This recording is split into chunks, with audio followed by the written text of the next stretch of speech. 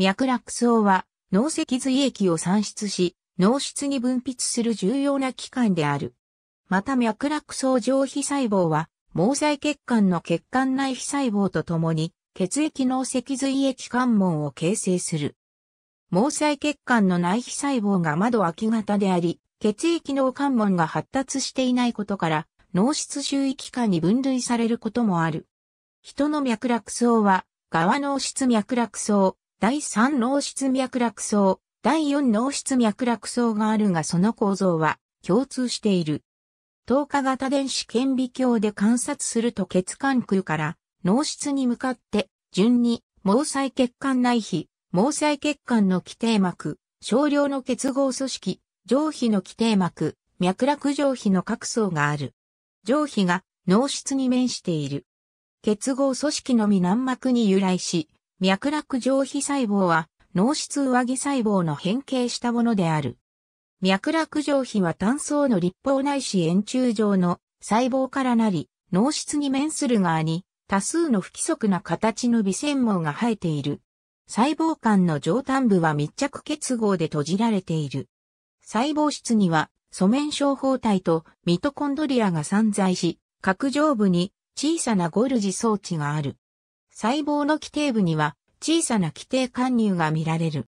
この細胞は基底部から素材を取り入れ、細胞内で脳脊髄液を作り、細胞の上部から脳室内へ向かって分泌する。毛細血管の内皮には多くの窓があり、血液成分が容易に上皮細胞に取り入れられる。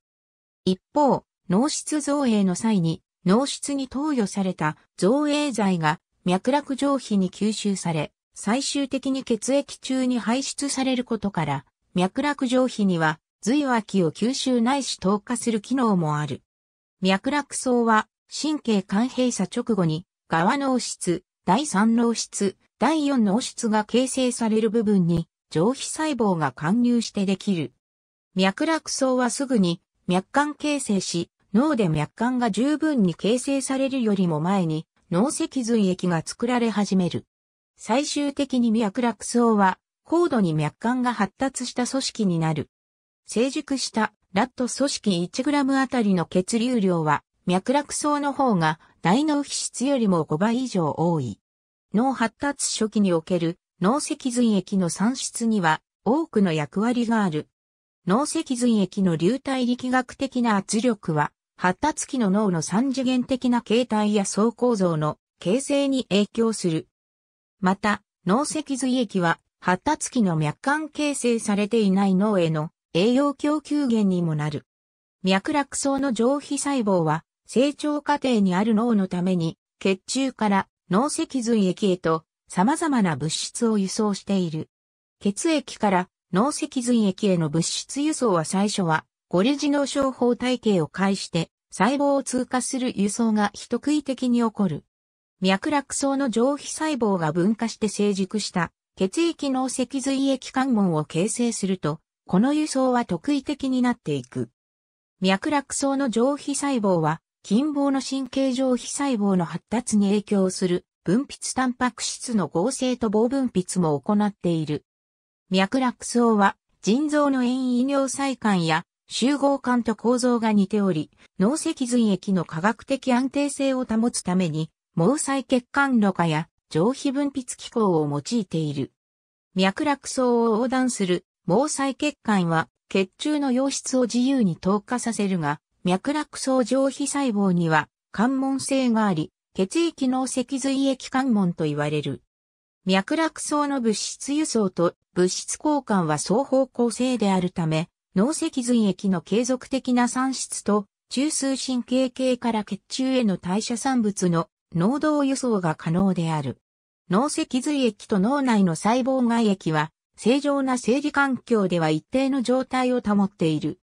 脳脊髄液の K、CA2、二酸化炭素、グルコースなどの濃度は血中より低く、より酸性である。この違いは、脈絡層の上皮細胞が濃度輸送を行い脳脊髄液の成分を調節した結果生じる。溶質の濃度輸送によって作られた浸透圧勾配は水の移動によって平行化されるため、通常血清と脳脊髄液は浸透平行にある。血液脳脊髄液関門は血液脳関門と共に知られている脈絡層に存在するバリアーである。脳室周囲器官である脈絡層内の毛細血管は有層性であり、血管内物質は毛細血管壁を通過して脈絡層内の間質に移行しうるが、その血管周囲空にある上皮細胞には脳室側に密着結合が存在している。この上皮細胞によって脈絡層内と脳室内との間における高分子量物質の移行が制限されて、オリコの機能が血液脳脊髄液関門と考えられている。なお、脳室内の物質がエンドサイトーシスによって上皮細胞に取り込まれ、密着結合を迂回して細胞間空、あるいは規定側へと輸送される経路は残る。さらに脈絡層上皮にも物質の移動を制限するだけでなく、選択的に取り込むための輸送体が備わっており、特定の物質の移行を可能にしている。脳室内の脳脊髄液と脳実質との間には上着細胞が存在するが、この上着細胞には密着結合が存在すること、陰性電荷の存在すること、密着結合種樹の接着因子が発現し、酵素活性の存在などが指摘されており、上着細胞が脳脊髄液脳関門を形成することによって物質の移動にある程度の制限をかけていると推測される。しかし、脳脊髄液脳関門のバリアー機能は不完全なものであり水や低分子化合物は両方向性に通過可能である。しかしながら脳脊髄液に含まれる高分子量物質の脳実質への移動に関しては制限されているという意見もある。また脳表において、雲膜下空の脳脊髄液と脳実質細胞外液は軟膜によって隔絶されている。しかし軟膜には密着結合はなく、水や低分子化合物は通過可能である。雲膜下空の動脈も軟膜で覆われており、ここでも血管周囲空に存在する脳実質細胞外液と雲膜下空の脳脊髄液との交換が生じる。血液脳関門は分子量が450台以上の分子は通過させないが、水分子に関しては自由に通過することができる。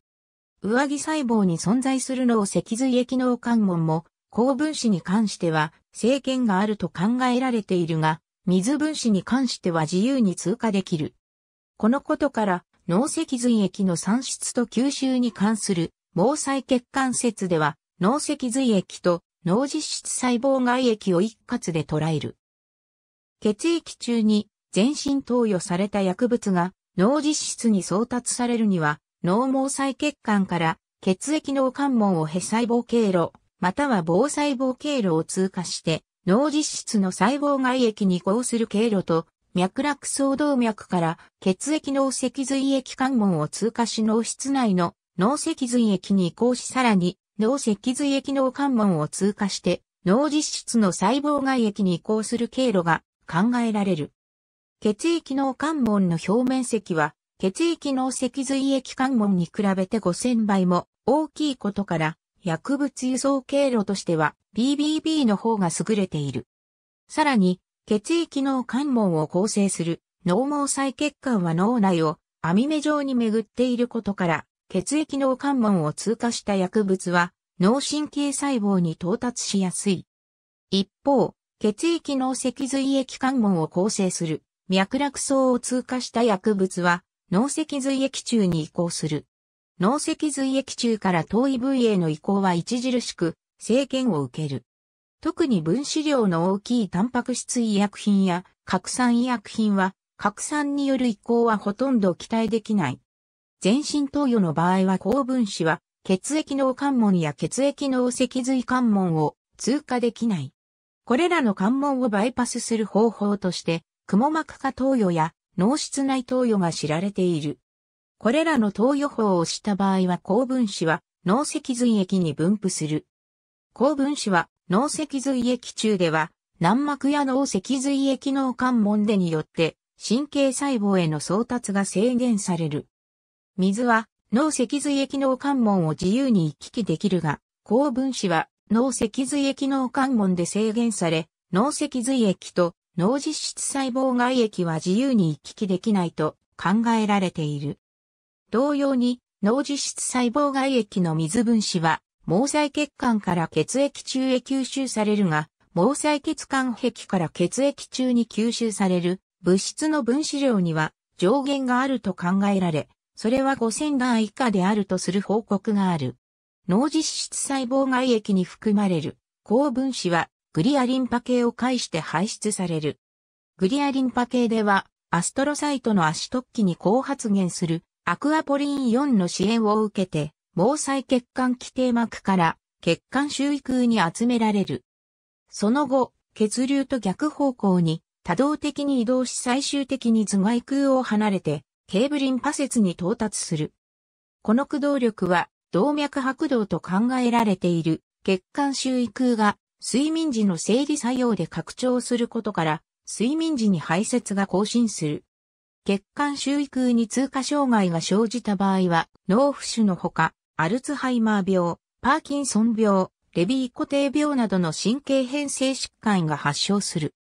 脳脊髄液に含まれる高分子は硬膜内にある脳のリンパ管や旧神経症の微粘膜かリンパ管網からケーブリンパ節に排出される経路が知られている。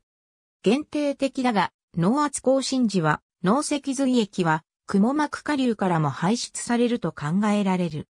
いずれにせよ脳脊髄液や脳実質細胞外液中の高分子はケーブリンパ節へ排泄される。ありがとうございます。